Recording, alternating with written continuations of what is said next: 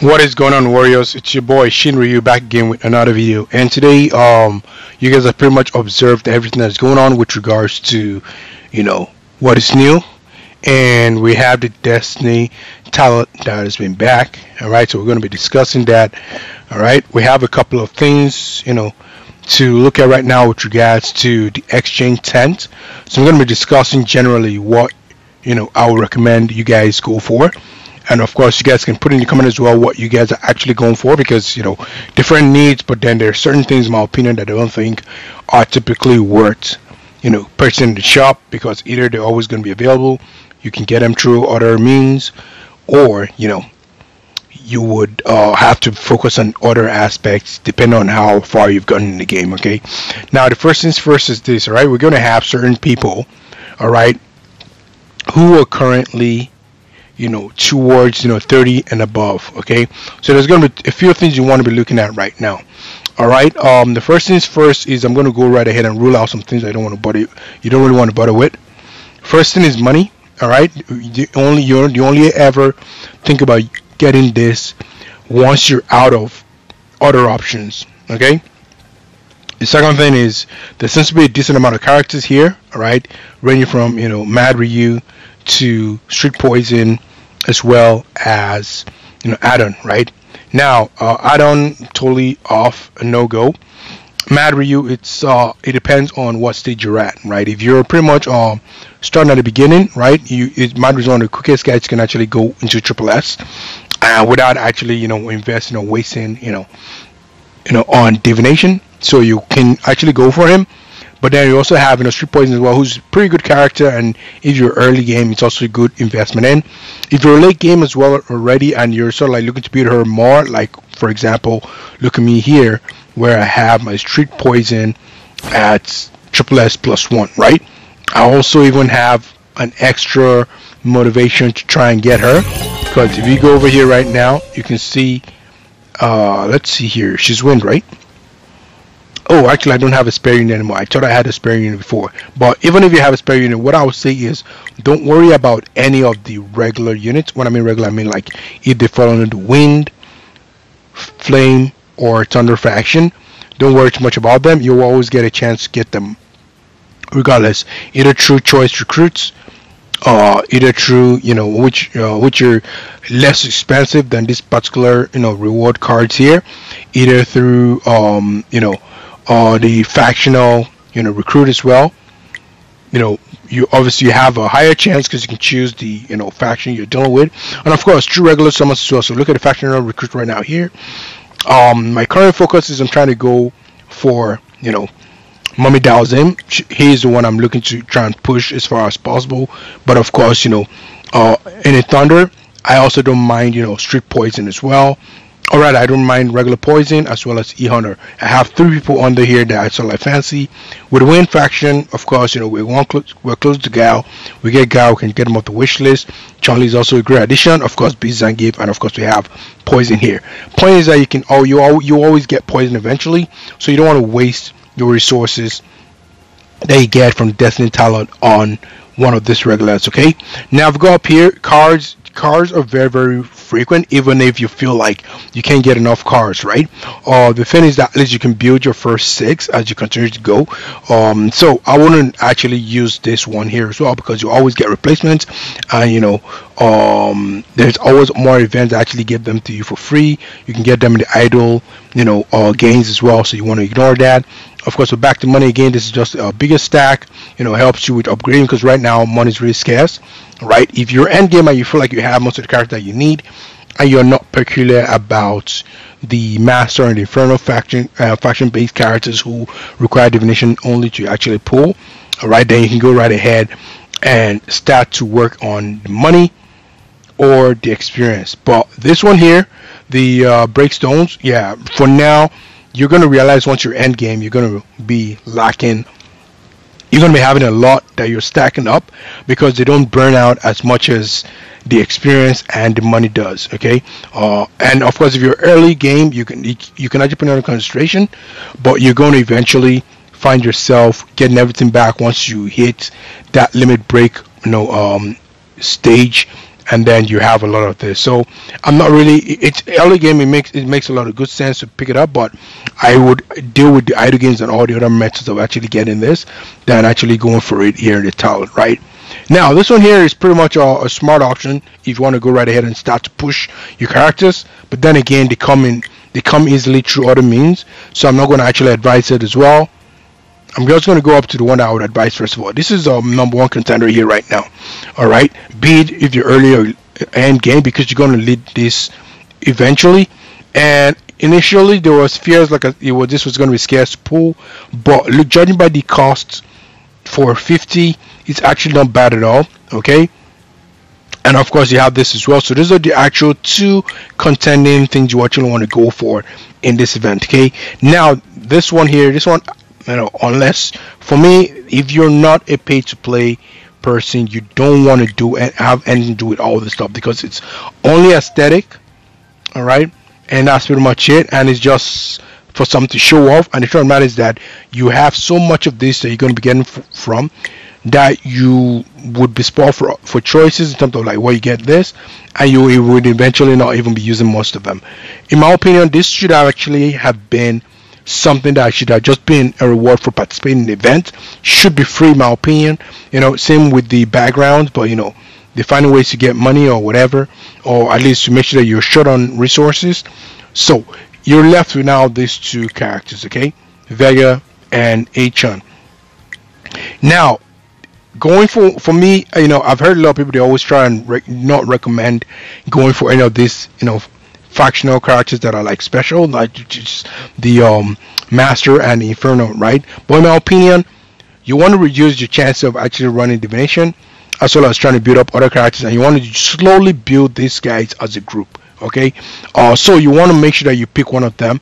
Now typically i would want to go for vega because vega seems to become more frequent. He's shown up like you know he showed up in the previous um you know the previous um lock I, I think it was one you had to the hammer and start you know going through you know matching you know uh items and you have to get to floor 20 to actually unlock him I can't remember what event is called off my head but he seems to be frequently coming up right now and looks like Achan, this is the first time she's coming up, but I've always wanted to have this character. So for me, I'm going to get this character. That's what I'm looking at right now. I would normally have prefer to go for Vega, but I think I would have more opportunities to go for, to get Vega. You know, I want to go for Achan right now in case she becomes what you call this frequent unit that will come. Because the good thing about this extra 10 for the Destiny Tarot or Tarot is that um is that you would typically get one of these characters and you can get at least one unit okay? Now once I get one of this one which is what I also recommend as well because this character especially Achan is typically good for uh, early game. You can add them to your existing characters and you make mad progress as well. But of course you know you have to worry about how quickly can you build them up which is going to be a struggle so that's what you want to think about it. But i'll show you what i'm talking about shortly when it comes to building your inferno and master characters together. So that eventually once you're top you're almost on par with you know the whales. But of course it's going to take you longer and hopefully we have that time enough to actually get it done. Okay so once you actually get one of these units because that's all you're going to be able to afford then you can now focus on the rest with this one of these two all right? This one seems to be more frequent than this one here so i recommend you go for this one instead all right? But then i believe you have to clear this one before you actually go for this one. You have enough time to go for this because like I mentioned in my previous videos, I'm very very certain that the other characters are also going to get the soul, you know, the soul power. And I don't, you know, the options that he picked for the characters to actually have them was very strategic. I don't think they only put them just so that you can actually have one representative when you're doing the tower battle. I believe it was almost like a test because if it was just a representative, then they would have gone for you know everyone to at least be the damage dealing unit because that would be a no-brainer. But instead, like I said before, they went for a tank in E Hunter, and you can see, you know, it's all power there. You guys already know units are there. They went for a support for street poison, and then they went for an attacker for Viper, and of course they dealt with the rest. Juri for you know the assassin, and then you know um M, uh, MGK for um, Gor Magalakan for balanced. I believe it's here somewhere. You know, you should be higher than most of these units of areas for the balance, right? So that's why I think all of them will get them. So take your time with building up this uh, soul uh, gems or the soul uh, shards or the soul, you know, um, the core. I can't remember what I call it again. Uh, yeah, core and shard, yep, and then you should be good to go. Okay, so that's the first thing with regards to that shop. Now, obviously, uh, with this one here, um, training supplies are a bit different. Okay, uh, with the training supplies, you know, here you may want to consider, you know, some of these, you know, uh, factional characters if you're close to building them. You know, for example, um, having a Summer Yang is not a bad idea, but like I said before, you're better off using them for more of these things than for actually, you know, more of the special, you know, requests than for actually on a character. Because this is too expensive for a character that you can gamble on with. For example, these uh, arcade coins, and you might land one of them, right? Because of their guarantee, doesn't necessarily justify that. So I'm still going to say no. All right, but Summer Yang is a pretty good unit. It makes the flame a lot better. So if also earlier as well, you can go for that. Or if you're just one short of thinking of five stars, but I would recommend End of the. Okay, I would typically recommend um, the eight. I always go for you know um, the arcade coins over the fractional coins. Fractional coins, yeah, sure, you can actually isolate the unit you want to get.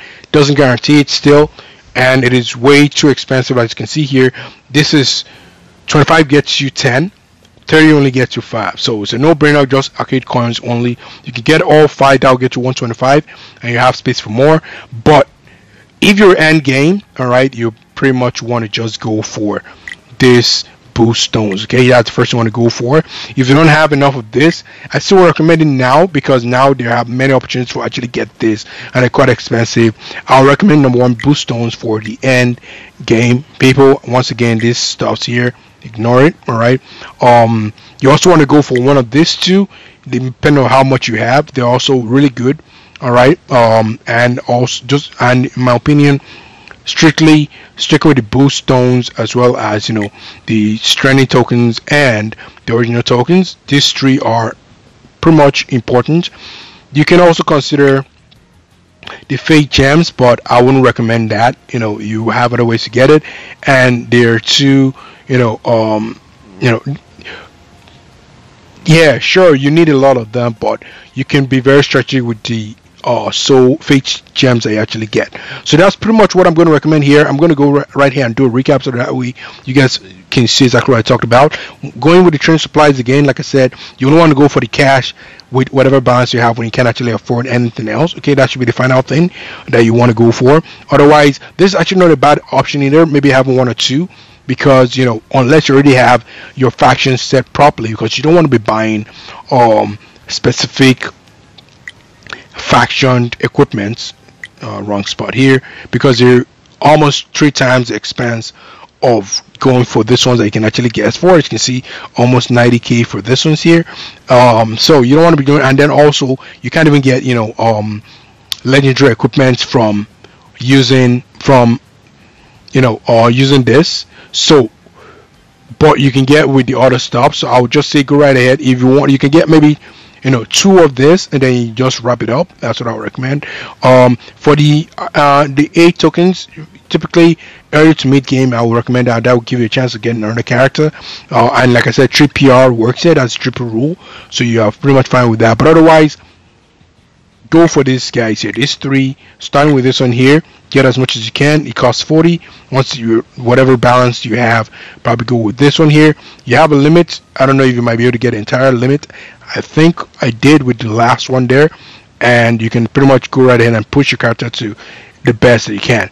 That's pretty much it for me with regards to when to go for in the um supplies right now. And of course uh, to wrap it up with the uh, the, the exchange tent here um, if you're if you're like I said you want to build your uh, master inferno characters together because they're pretty much useful when it comes to uh, attempting the let's see um, the you know uh, the uh, inverse world.